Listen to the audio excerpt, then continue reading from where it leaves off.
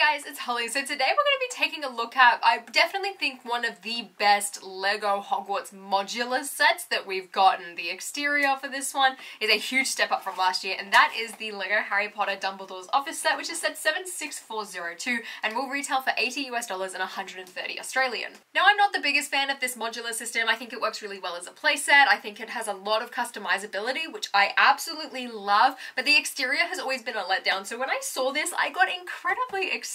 This is also one of a, only a few LEGO Harry Potter sets this wave that actually have the collectible Wizard Chocolate Frog tiles. So if you haven't yet finished them, you might get lucky with this one. There's not too many new figures compared to like a lot of the other sets in this wave, but there's still a lot on offer. So let's go and have a look at it and see if it's actually worth picking up.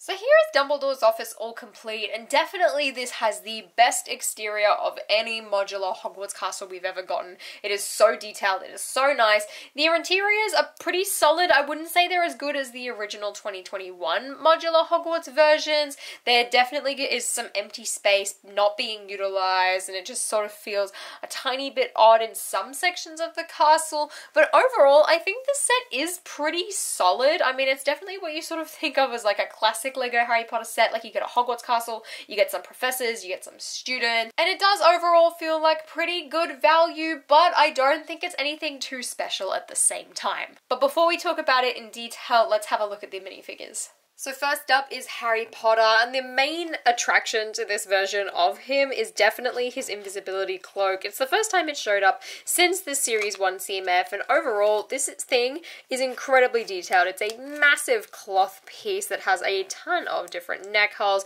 Once you take that off though, there's nothing really special about the Harry Potter minifigure at all. It's the exact same one as we got several times in sets last year with his robes and his classic young face, so he's not that interesting, but this invisibility cloak is spectacular. I love the detail on the inside and the fact that you've sort of got the cloth look to it. And then on the alternate side, you have this incredibly holographic shiny fabric, which looks amazing. It doesn't technically make him invisible, but it certainly looks really cool and is going to be worth probably quite a lot. It's a really nice high quality fabric. Please take care of this. Next up, we have young Hermione, and again, she's really not all that interesting. As a torso we've seen before, her head and her hair we've seen before. She's not that special. I mean, I'm glad they're bringing back the robe pieces, though I do love these torsos.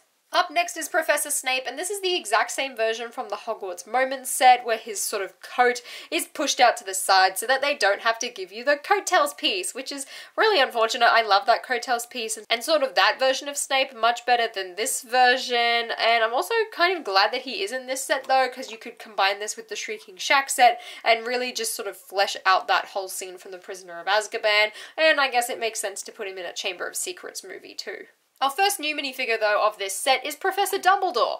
Again, I'm not entirely sure why we keep getting new Dumbledores. Like, I feel like we've we've had enough of them, and they're all Richard Harris at this point. That like the budget of like a new torso and new leg printing could go towards a new mold or a new character, for example. However, this version of Dumbledore does continue to keep that white hair, which I love on the Richard Harris Dumbledore. I think it's incredible. The torso detailing as well is really nice. Same with the legs, especially if you missed out on the Series 2 CMF version of Dumbledore. I think this is amazing amazing. However, at this point, I feel like we could have just reused the one from Fawkes and we'd be fine. Like, I don't think there would be really any complaints with that. I don't think we needed a new Dumbledore. Like, with Harry Potter specifically, at this point, I would much rather, like, the new prints and new torsos and things like that all go towards characters or outfits that we've never seen before, rather than another red version of Albus Dumbledore from the first two movies. like, this isn't even, like, the Michael Gambon one. It's always Richard Harris.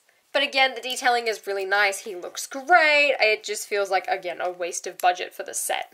A new minifigure though, an addition that I absolutely love is Mrs. Norris and Filch. I think Filch's design is really good. I feel like the hair could always be a bit better, but at the moment, this is really the perfect option for him. And again, this is his first appearance since 2018, so it's really good to get him back again. I love his tatty, worn down clothes, and of course he comes along with a little lantern in order to yell at the students who are out of bed. But in order to find those students, Mrs. Norris does have to help, and I'm really glad she's included in this set. I love the patterns of her fur, I love the colouring, I love her little face print.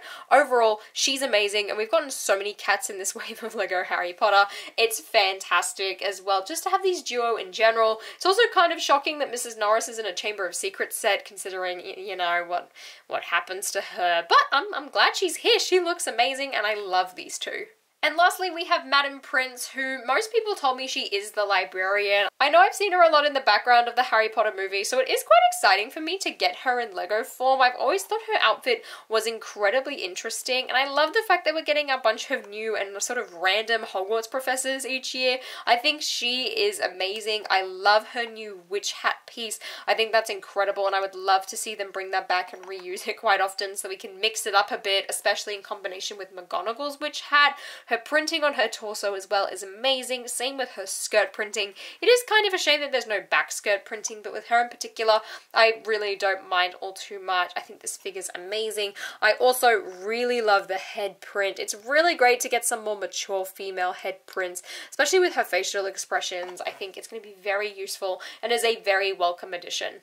So here is Dumbledore's office, and I really like the exterior from this set. I remember when I saw it for the first time, I was incredibly excited just because of how big of a step up it was from last year. Last year I feel like there was a lot of just really plain buildings, like there wasn't a lot of detail, there wasn't a lot of depth to it, and this castle certainly has depth. It's not just so one-dimensional like it was last year, and you've also got these corner pieces which can fold out, which again provide a lot of customization it means as well you can create a ton of angles which if you have a lot of these other modular pieces this is a fantastic addition and one that I would highly highly recommend just so that you can create a more dynamic layout for your Hogwarts. However, unlike the models last year, I feel like the interior isn't quite as good. I mean, I really like the bottom level, I really like the middle level, but this top level is incredibly disappointing. Now at the top as well, there is a tiny little addition that I have added on there purely for storage purposes, and those are my chocolate frog cards, as this is one of the sets that comes along with them. And this time around, I've got Helga Hufflepuff, Gilderoy Lockhart, as well as another Helga Hufflepuff. Luckily, I've got all of them, so it doesn't really matter to me. Now this set is very reminiscent and pretty much a remake of the one from 2002, which is pretty neat. However, I feel like it's got a lot more to offer this time around. So starting off, let's have a look at the bottom and take off this whole top section that exists. Now this whole bottom section is pretty much like the width of the Great Hall from the Chamber of Secrets set and you've got these two little rooftop balcony pieces on either end which are exactly the same and only take up four studs sort of by the same width as every other piece and then on the inside you have the Hogwarts Library which I'm really glad has finally made an appearance in Lego form. It feels like it's taken far too long to actually show up especially considering how many scenes it's in especially in the first two movies. The whole thing as well can open up so you can swing out these two side sections in order to give it a bit more space to remove, but more so I think it's just to make Hogwarts look a bit more interesting when you're combining all of the pieces. Now in order to sort of give it a bit more stability, there's are these two poles at the front which do block off a considerable amount I guess of the play area on the inside, but you kind of do need it considering how high this is built up. I just feel like if there was nothing there it would be a bit too weak. Now there are quite a lot of cool details on this bottom section, starting off with this stickered panel of the entrance to Dumbledore's office, which of course is the Griffin, where if you say sherbet lemon, he will let you up inside. There's a ton of really nice windows as well as this little plant structure, which if you push in this piece here and this piece here, some of the books will sort of stick out and fall out in this middle like bookshelf that you've got going on here. You can sort of see them slide around as I tip that up. Again, you've got another window on this side and just an empty archway on the left left. On each side of the build there is a tiny little desk complete with two studs in order for you to stick a book on or like a cup of butterbeer or whatever you want as well as a chair for students to sit down. At the back too there's tiny little benches each complete with those little really basic lamp builds that are actually made up of like a gold tap at the back and they basically just mirror each other. However the one on the right hand side does include a little chocolate frog next to that lamp. And then like I said, you get to the middle and you have this bookshelf, so if I push those pieces in at the back.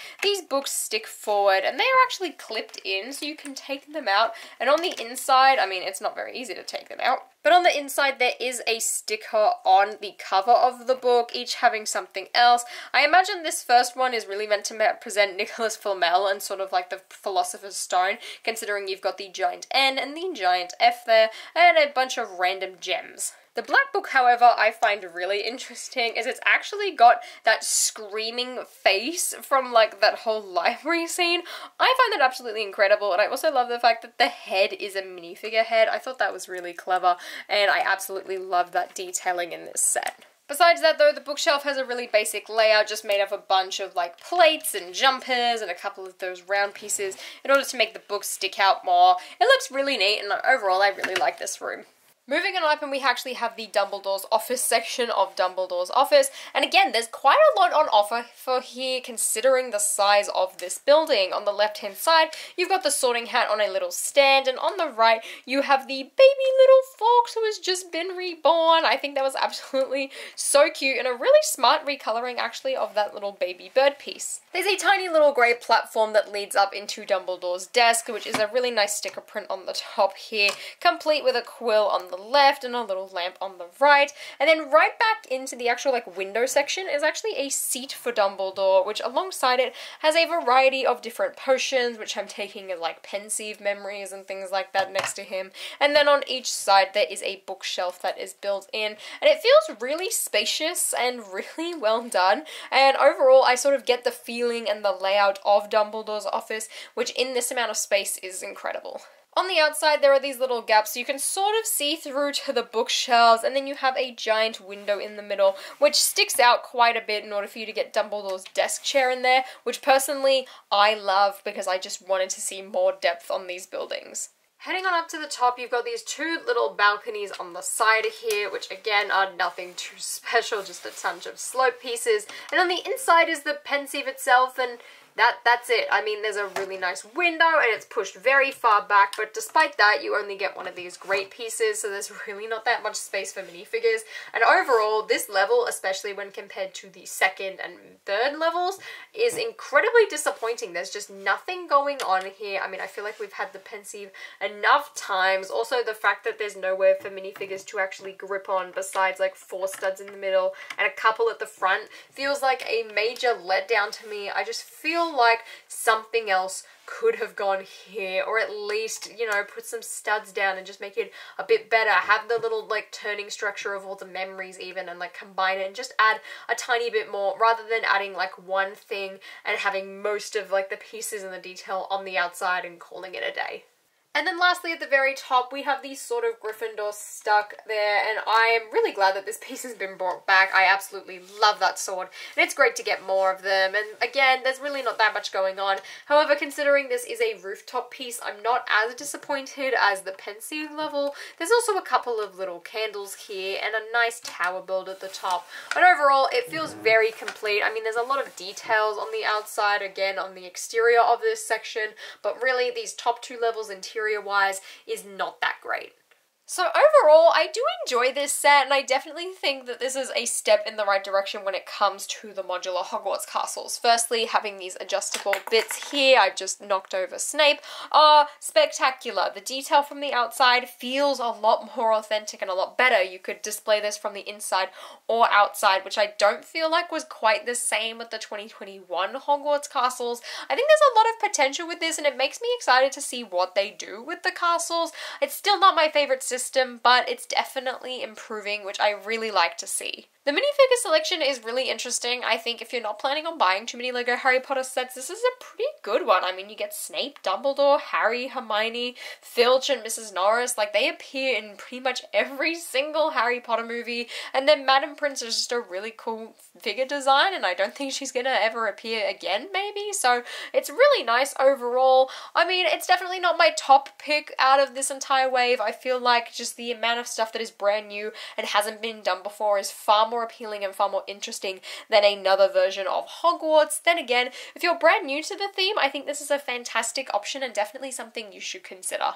The price point as well does feel pretty fair for this set, unlike a lot of the sets in this wave, and I'm overall really happy with how this turned out. I feel like this is a solid sort of like mid-tier when it comes to looking at the wave overall. I definitely think it is worth considering and picking up, especially if you do enjoy those Hogwarts castle builds or you want something to like modify and mock overall. Otherwise, if you sort of are happy with all of your Hogwarts castles, you could pass this at the end of the day. But let me know what you think about this set overall and if you plan on picking it up. And if you enjoyed this video, please give me a thumbs up and consider subscribing to my channel down below. And until next time, guys, I'll see you later.